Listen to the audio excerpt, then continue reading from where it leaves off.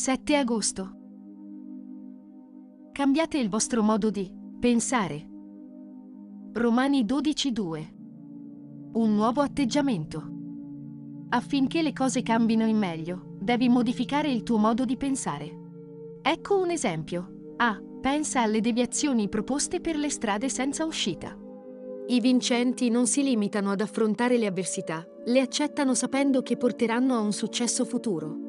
B. Non ascoltare le critiche, piuttosto concentrati per fare del tuo meglio. Chiunque vuole costruire qualcosa di utile deve imporsi su persone negative e pessimiste. C. Quando hai paura, glorifica il Signore fino a che la tua fede non sarà rafforzata. Potrebbe richiedere tempo, ma, così, la lode e il ringraziamento non verranno meno e ti daranno la forza di proseguire. D. Quando cadi, rifletti sulla lezione e ricorda le volte che hai avuto successo.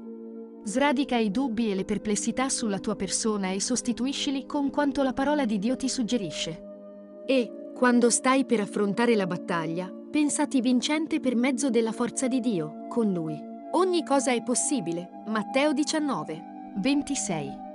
F. Piuttosto che recriminare sul passato e preoccuparti del futuro, concentrati sul presente, è lì che la tua influenza è maggiore. Ricorda la promessa del Signore, duri quanto i tuoi giorni la tua forza, Deuteronomio 33:25. G. Piuttosto che lamentarti, prodigati nella ricerca e vedrai che le soluzioni arriveranno. H. Quando qualcosa ti distrae, respira profondamente, fatti una passeggiata e schiarisciti le idee, Pensa a ciò che puoi controllare e sottometti il resto a Dio. I, nei momenti in cui ti senti solo, pensa alle persone che ti stanno aiutando, che ti amano e incoraggiano. J, quando ti senti affaticato, prendi una pausa e riposati, ma non arrenderti mai.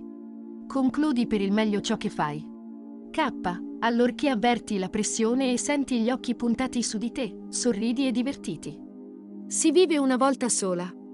La vita è breve. Perciò cogli l'attimo. Scrivici su WhatsApp per ricevere le meditazioni giornaliere ed altro.